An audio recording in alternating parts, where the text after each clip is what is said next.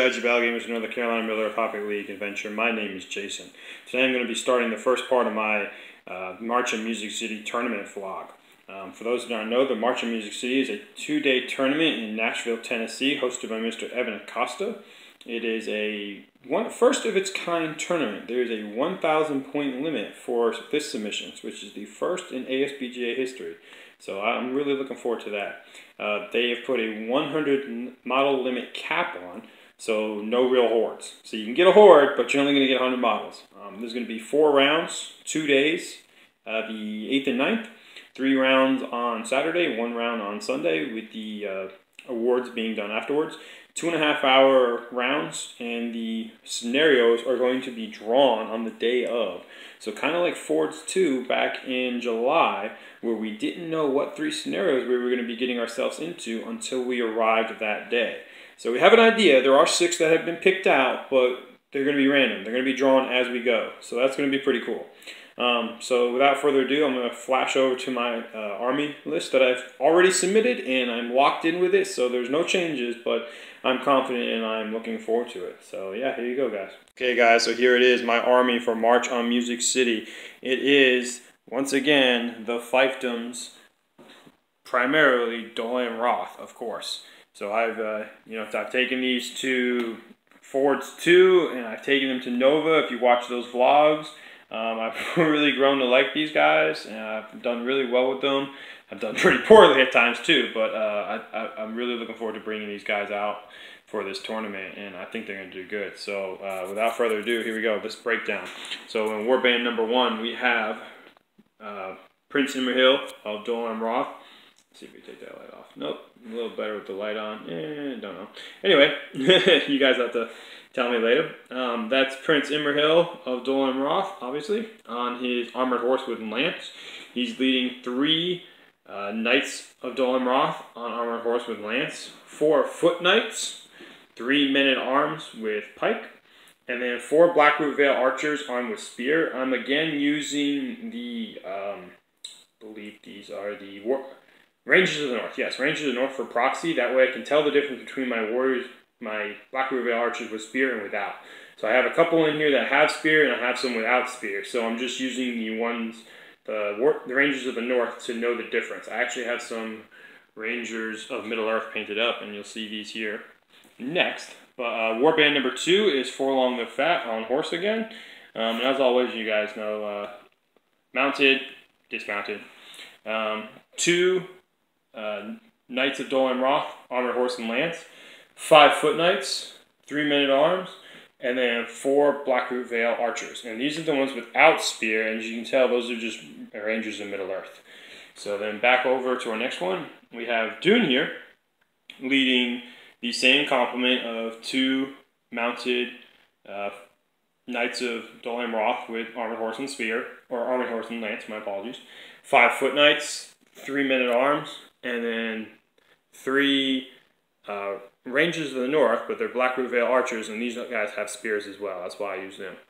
And then last but not least, the Captain of Dol Amroth with armored horse and lance as well, with two uh, Knights of Knights of Dol Amroth, not Knights of Minas Tirith. Wow, Knights of Dol Amroth on armored horse with lances, four foot knights, three men at arms, and three Blackroot Vale archers. These guys do not have the spears. So that is my 1,000 point list, and I've practiced um, with a few different combinations, and I found that this one is probably the best. So I'm looking to maximize it and hope it does really well. So yeah, guys, uh, next time I'll come back, I'll probably be at the hotel uh, after check-in, hopefully day of. They are doing a special, um, I can't think of the name, uh, Siege of Minas Tirith from the movies with the uh, uh, shoot, I can't. Minas Tirith wall, something like that. It's a, it's, it's a cool scenario. It's a special scenario. Uh, so I might take some video, might not. Uh, otherwise, I'll let you guys know, and uh, I'll be back and let you know how the tournament went and how the rounds go. Look forward to it.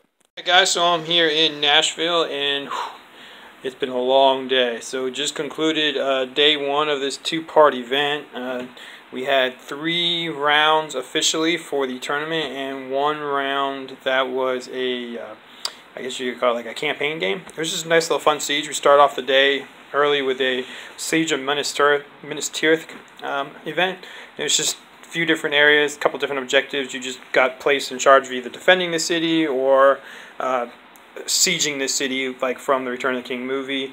Um, I did end up winning my uh, protection of the, the, gate. So, unlike in the movies, I protected the gate. So, uh, that was fun. Uh, but going into what we're all really looking forward to. So, round one, I played against Mr. John Billy, and it was um, Lords of Battle. So, Lords of Battle, I like that game. Unfortunately, the list I was playing against, not good. Not good scenario. So, Mr. Billy took five Eagles, Beorn, and Radagast on a Great Eagle. Yeah. So seven models. Yeah, seven models. And for Lords of Battle, yeah. So I tried shooting using my shooting combo with my Blackroot Vale Archers and, and Duinhir, And out of 30 shots, including a few rerolls, um, I only got three total wounds. And I didn't even kill the eagle. The one eagle that I put them all on, I got two on the first turn, and I'm like, yes, yes, I can get one. If I can just take out one of these eagles, I can make it close. I, I might be able to do this. Yeah, he channeled renew got all his all his all his uh, wounds back, so he was back to full health. Uh, but that was at least three wounds for me. Um, uh, the highlight for that game was the fact that I was able to kill Beorn. Radagast was his leader, and one other eagle. So if I had gotten one more and I had one eagle on two wounds, I might have been able to do it. So maybe an extra turn, I might have been able to do it. But we ran out of time, unfortunately. Um, I was well broken, and we just didn't keep ending. So unfortunately, it was a 10 to 2 victory for him. He got 45 wounds against my army, including the death of Duinhir, which gave him three uh, right there. And then all my other heroes stayed alive. Imrahil was actually probably my man of the match. He walked up to Beorn and in two turns was able to kill him with some charges and some well placed lances with support. Got a couple points of might back from that, and the fact that he also killed um, Radagast. Not only did I kill Radagast, but I also killed Radagast Eagle, which gave me some points. But it was a 45 to 21 wound tally wise, and I did kill his leader, so that gave me two VPs. But he broke me, was unbroken, and had twice as many. So he had 10. So 10 to 2 major loss, which kind of hurt. Uh, round two was against Brandon. Um, not sure, don't know his last name. Sorry. Uh, my, yeah, it's got to be Acosta, Brandon Acosta, because it's Evan Acosta, who's our TO. He's his brother. So probably Acosta. Anyway, uh, interesting list. Brandon, unfortunately, is just getting back into the game, so he's not very familiar with the game still. And he had um, a 1,000 point list of Nazgul. Yeah, unnamed Nazgul with different might, will, and fate, and then a couple banners to help out, I guess, when they got stuck in contact, combat. Um, it was actually uh, Evan's army, and he was trying it out, I guess, to play it. Uh, might have been better. Unfortunately, the scenario was Contest of Champions. So if you don't know what Contest of Champions is, you put your heroes three inches away from each other, pretty much in the center of the board, and then they have to fight. It's Lords of Battle, but for your leader. So your leader's wounds are what you're tracking. So he had the nine Nazgul, and in turn one, I ran in with Imrahil and killed the Witch King very easily. uh, that Lance definitely helped out there. Um, killed the Witch King, had some support with that, and then went around and killed four of the race, and the game ended when I broke him. Um, I think it's, yeah, broke him. And I got a 12 to nothing victory for that, for breaking, for having three times the amount of kills than his leader, because I just I killed three guys with Imrahil, and three guys is three times how much you need. Um, broke him, killed his leader. Yeah, it, it was it was pretty bad. Um, it was over pretty quickly, unfortunately. I, I kind of feel bad about it because he's new. I was trying to help him out best I could. I was telling him, like, yeah, yeah, you got to do this here to help try and take this hero out of it. And you got to try, oh, you know what, go ahead, go black dart this guy because why not? He's my cavalry guy. And throw three will at it, and if you black dart, you kill a 20 point cavalry model. He actually did pretty good. He, he killed like six of my nine cavalry models with black darts and a couple other guys. But unfortunately, when he came to trying to target my heroes, I had enough will between the three of them that he was targeting between Forlong, Imrahil, and the Knight of Dol Amroth captain that I resisted anything. And then, yeah, it was over pretty quickly. Um, third game was fun. I played against uh, David. I don't know David's last name either. I'm sorry. Uh, but he had an Uruk-hai force with uh, Vrasku, um, Sharku on a warg, uh, Lurtz, Saruman, and a troll. Yeah, a troll. Must be a thing, because Alex, you're watching this, yeah, you're troll. Um, Fortunately, he misplayed the troll a little bit. He kind of had him on one side of the board. Oh, it was domination, um, and he deployed Gr- Grima, of course. He had Grima too. Deployed Grima over, and Grima killed me for might. But I was trying to set it up so that I could maybe go and get um, uh, Saruman, and I was setting myself up every turn to try and get to him. I was doing heroic combats um, with my heroes on one flank with all my knights and just moving myself quickly. And it, he must not, he probably misjudging it, but I moved from the backside because he came in and flanked me in this kind of pattern in an L, and I had Imrahil and my Dol Amroth captain, and with two heroic combats, I got to the top, and then I was within striking distance of Saruman, Saruman um, but unfortunately I lost the priority roll, so I had to, no, I, I would win the priority roll or use a heroic to do something to move first, and he would use a heroic with Saruman, and he would run Saruman away. And every time I would get close, he would just run him away again. And it'd be like, dang it, because uh, domination is one of those hard ones to get a lot of VPs unless you can get all five objectives. And for this game, I won um, five to two. I had one objective, was contesting two others, and I broke him, but was unbroken. Um, the troll did not get into combat early enough, unfortunately. He didn't get in until the very end of the game, the last few rounds. And between Imrahil, Forlong, and my Dol Amroth captain, I, I was just slaughtering guys left and right. He had uh, Sharku and I think six Warg Riders. Yeah, six Warg Riders, and then just only two Berserkers, and then a bunch of uh, three Uruk-hai with crossbows. Six of them, I want to say, with the or- with the Uruk-hai bow. The scouts with the Uruk-hai bow. Um, did not go so well with me shooting that game. Um, my shooting combo, I didn't use it at all because Grima was sitting right there, and I would have gotten to do it once. So uh, I was just shooting strength two bows anyway. So I shot them at his defense four Uruk-hai scouts and actually got five kills. No, I got two kills on his Uruk-hai scouts, and then I shot his front rank of defense six guys and was able to get three kills, which was pretty impressive out of ten shots because uh, he picked off five of my archers in two turns. Um, but then from that on, that point on, it was just a fighting game, and uh, even though we had the fight values for the most part, I had Imrahil in a prime position so that his three inch effect for plus one fight value was taking massive effect, and I was winning. I, I won the middle handily. It took three, four turns of combat, but I wiped out. I think uh, got 36 kills, and I think uh, 28 of those were from the middle section, just from those three heroes in my uh, being right there, and all those hard hitting guys, and my uh, knights getting the charge off with the lances, um, even when I couldn't. So he would move Saruman out of the way, like I said, and when he moved Saruman out of the range of my guys on Cal on, on Mount on Cavalry, ugh, God, I'm tired. I'm sorry.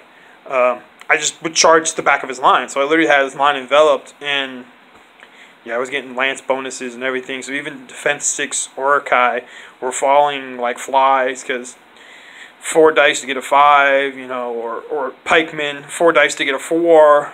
It, it was it was nice. it was nice to see that for once it, it worked the way it was supposed to. Um, I feel bad because uh, he told me about where he got his army from from a dear friend of his, so I feel bad for killing it. I'm sorry, David, if you're watching. Um, it was a good game though. Uh, you're a good sport. I really appreciate it. Um, but yeah, that was the end of day one. Going on to day two tomorrow. Um, one last game. Uh, they took it down from five rounds to three to four. So I'll have one game at 10 o'clock in the morning. Currently, I sit with two major victories and a major loss, which uh, actually puts me good enough to be in, I believe, third place right now. Uh, Mr. John Beely, who beat me, is in first right now with three major victories. Um, I don't know if I'll play him again or if they'll do it where they match first and second. Uh, they're doing it a little different. Uh, our scenarios each turn are random, and we roll to figure out which one we're doing. So it's kind of interesting. So we'll see. I'm not real sure what I'm going to get tomorrow. Um, but yeah, guys, a lot of fun. Uh, stay tuned.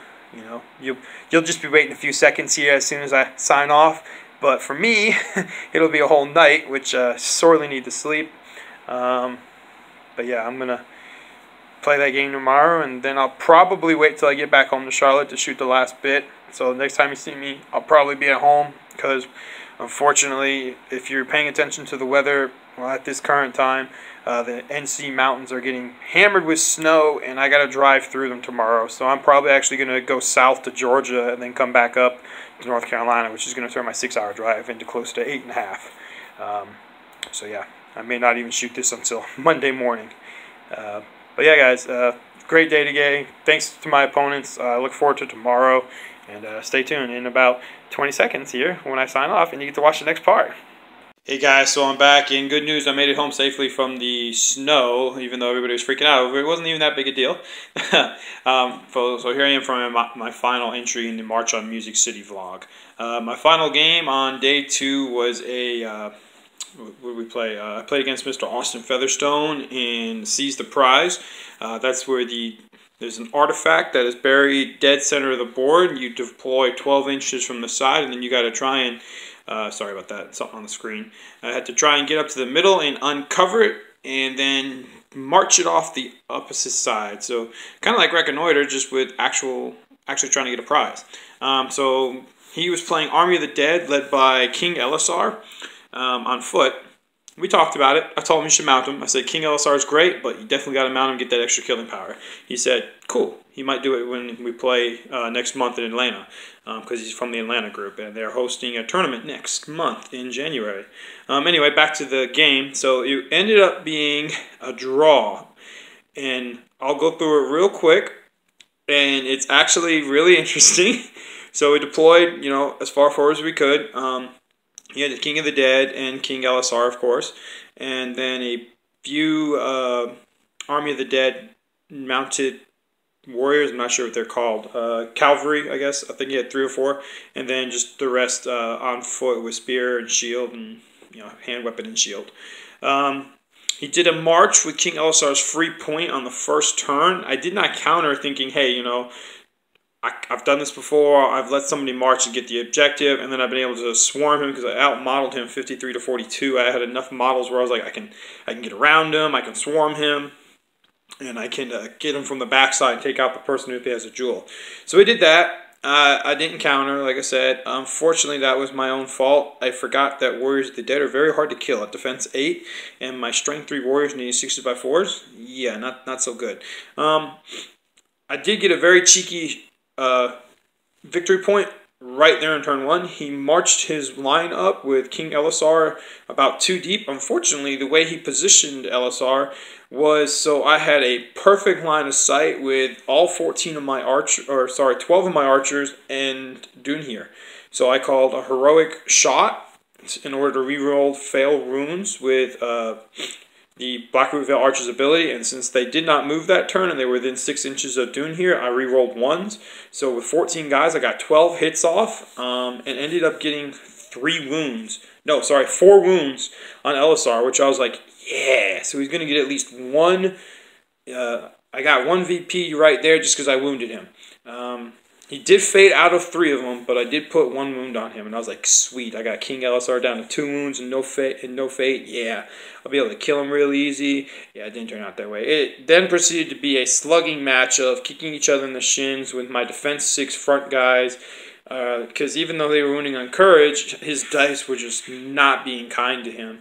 My courage uh, five knights, sorry, courage four knights were just standing up to his warriors and they were like, yo, you need fives? Yeah, you're not going to get it.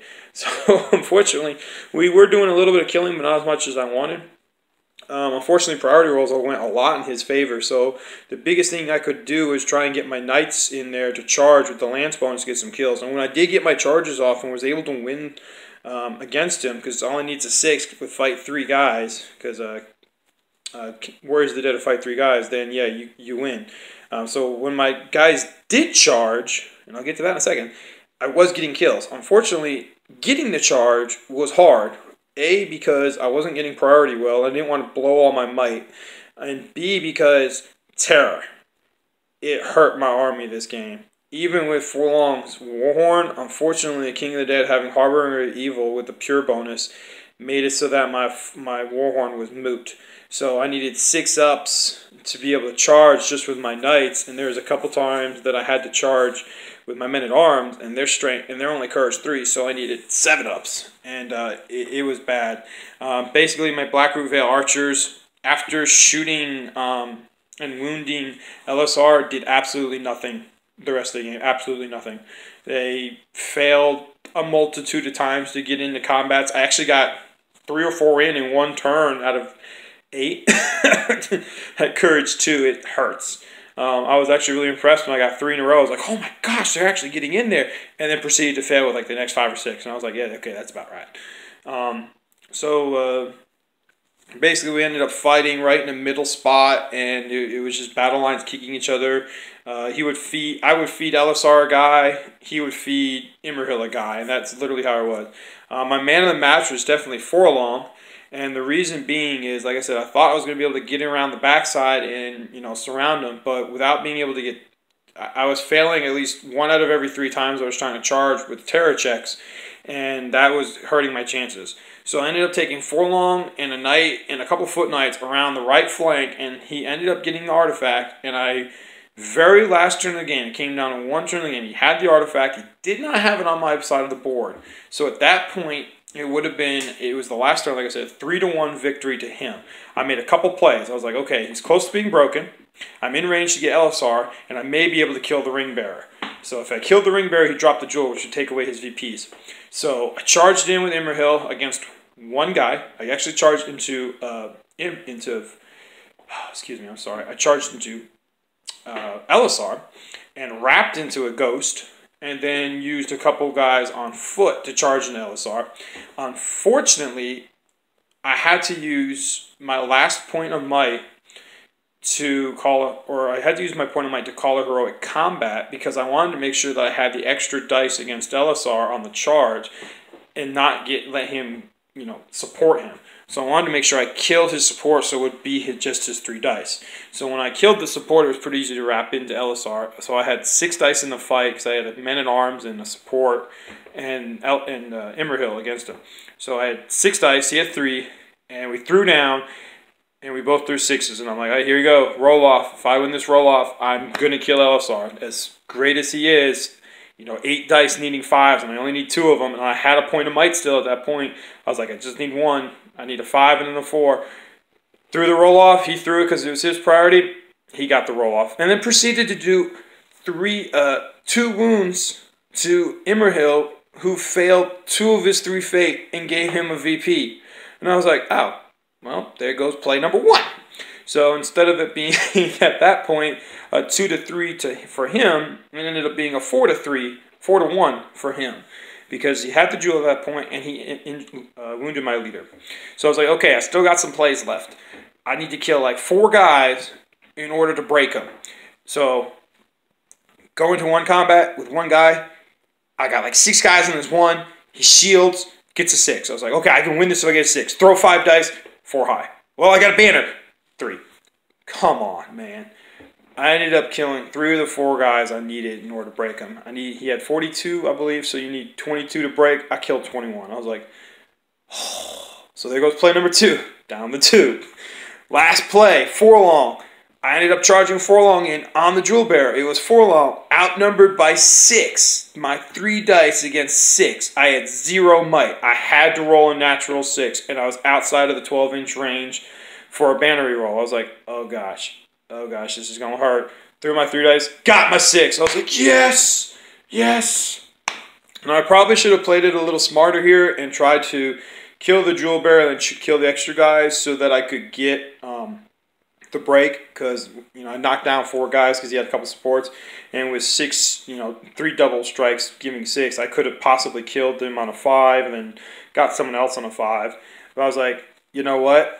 The way I've been rolling, I just put everything on one roll on the on the art of the jewel carrier. I got one five, and the rest were ones and twos. I was like, I rolled the six dice and I saw all ones and twos, and I'm like, no, no, no. And then I saw the one five. I was like, oh, yes, yes. um, so that was the end of the game. It was a one-one draw.